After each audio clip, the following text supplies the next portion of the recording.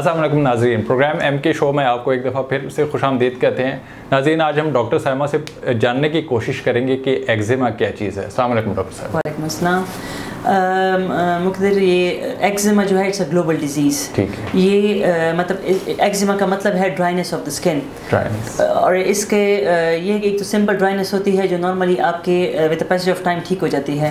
لیکن ایک کو کہتے ہیں ایپٹاپک ڈرماٹائٹس ایٹاپک ڈرماٹائٹس کا مطلب یہ ہوتا ہے کہ جو جینیٹیکل ڈیزیز ہوتی ہے جو آپ کے بچپن سے ہی آپ کے ساتھ یہ ڈرائنس آ رہی ہوتی ہے اور وہ۔ سیویئر ڈرائنس ہوتی ہے۔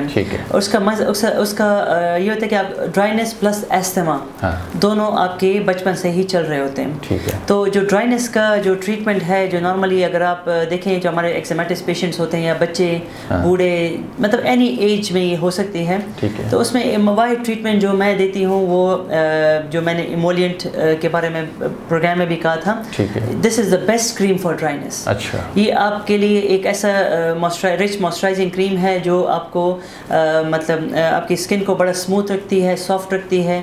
اور جب تک آپ نے دوبارہ واش نہ کیا ہو یہ آپ کی اسکن کو مطلب ہیومیکٹنٹ اس کو ہیومیکٹنٹ بولتے ہیں۔ اچھا۔ وہ آپ کی اسکن کو ہائیڈریٹڈ رکھتی ہے۔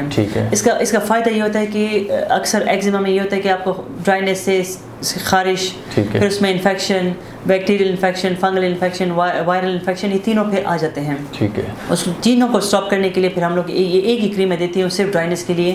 For long term basis. مطلب اگر آپ ریگولر اس کو تھرو آؤٹ دا ایئر استعمال کر سکتے ہیں۔ اور یہ کریم مارکیٹ میں اویلیبل ہے؟ نہیں نارملی ایسے اویلیبل نہیں ہے۔ یہ ہم لوگ آن ڈیمانڈ اگر میرے جو جتنے پیشنٹس ہیں وہ تو یہاں پہ ہماری جو فارمیسی ہے ان سے مطلب لیتے ہیں۔ جو آؤٹ اسٹیشن پیشنٹس ہوتے ہیں ان کو ہم پھر ڈسپیچ کرتے ہیں through C T C S ٹھیک ہے۔ بہت شکریہ ڈاکٹر صاحبہ۔ جی ناظرین یہ تھا ہمارا آج کا پروگرام امید کرتا ہوں آپ کو پسند آیا ہوگا۔ مقدر خان کو دیجیے اجازت۔ اللہ حافظ۔